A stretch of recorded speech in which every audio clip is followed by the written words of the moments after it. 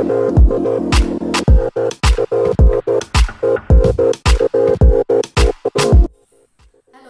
നമസ്കാരം. ഞാനിന്നൊരു home made paneer recipe ആയിട്ട് വന്നേക്കാണ് വീട്ടിൽ തന്നെ ഈസി ആയിട്ട് സോഫ്റ്റ് ആയ പനീർ എങ്ങനെ ഉണ്ടാക്കാമെന്ന് നമുക്ക് നോക്കാം. നമുക്ക് നേരെ വീഡിയോയിലേക്ക് പോകാം ഞാനിവിടെ പനീർ ഉണ്ടാക്കാൻ വേണ്ടിയിട്ട് ഏതാണ്ട് ഒരു ലിറ്റർ പാലാണ് കേട്ടോ എടുത്തേക്കുന്നത്. പാൽ ചെറുതായിട്ട് തിളക്കാൻ വിട്ടേക്കണം.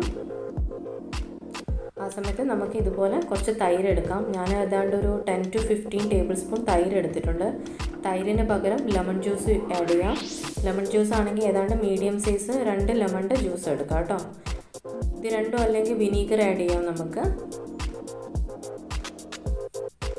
ഇതുപോലെ കുറച്ച് കുറച്ച് ആയി കൊടുത്തിട്ട് വേണം ആഡ് ചെയ്യാൻ വേണ്ടിയിട്ട്.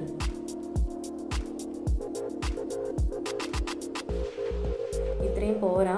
നന്നായിട്ട് പിരിഞ്ഞു വരണം. വെള്ളമൊക്കെ തെളിയുന്ന രീതിയിൽ പിരിഞ്ഞു വരണം. ഏതാണ്ട് ഈ ഒരു സ്റ്റേജ് ആകുമ്പോഴത്തേക്കും നമുക്ക് അപ്പം തന്നെ സ്റ്റൗ ഓഫ് ചെയ്യണം. ഒട്ടും വെയിറ്റ് ചെയ്യേണ്ട ആവശ്യമില്ല.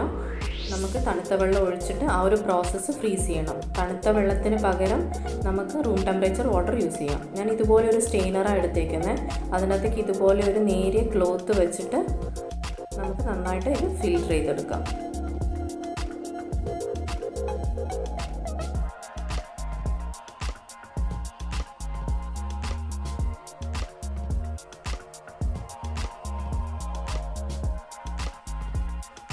ഞാൻ ഇതുപോലെ ഒരു തവണ വെള്ളം ഒഴിച്ചിട്ട് ഒന്ന് വാഷ് ചെയ്തിട്ടുണ്ട്. വാഷ് ചെയ്യണമെന്ന് ഒരു നിർബന്ധമില്ല വാഷ് ചെയ്തില്ലെങ്കിലും നല്ല പനീർ തന്നെ നമുക്ക് കിട്ടും കേട്ടോ.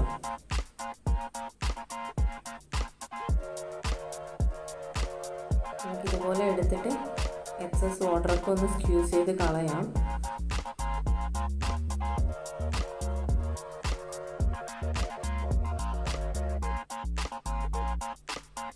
ഇനി ഇതുപോലെ വെച്ചേക്കണം. ഇതിന് മുകളിൽ വെയിറ്റ് വെക്കണം നമ്മൾ അതിന് വേണ്ടിയിട്ട് ഞാനൊരു പാത്രം എടുത്തിട്ടുണ്ട്.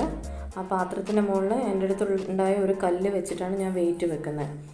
എല്ലാ വാട്ടറും ഡ്രെയിനായി പോയേക്കണം. അതിന് വേണ്ടിയിട്ടാണ് നമ്മൾ ഇതുപോലെ ചെയ്യുന്നത് കേട്ടോ. ഇതിന് പകരം ഇതുപോലെ ഒരു കല്ലെടുത്താലും മതി. ഇഞ്ചിയും വെളുത്തുള്ളിയൊക്കെ ചതക്കുന്ന കല്ല് എല്ലാ വീട്ടിലും ഉണ്ടാവും. ഇതും ഇല്ലെങ്കിൽ കുറച്ച് വെള്ളം വെക്കാം. വെള്ളമാണെങ്കിൽ വൺ ലിറ്റർ മിൽക്കിന് വൺ ലിറ്റർ വെള്ളം തന്നെ വെക്കണം കേട്ടോ. ഏതാണ്ട് ഒന്നര മണിക്കൂർ സമയമായിട്ടുണ്ട്. ഇനി നമുക്കിത് റിമൂവ് ചെയ്യാം.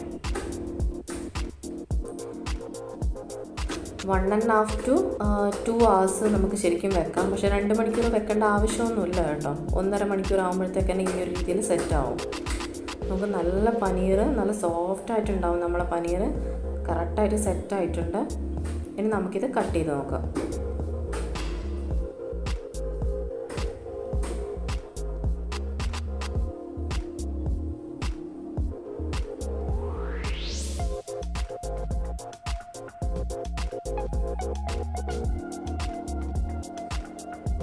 നമുക്ക് നല്ല സോഫ്റ്റ് പനീറാണ്. പനീർ റെഡി ആയിട്ടുണ്ട് കേട്ടോ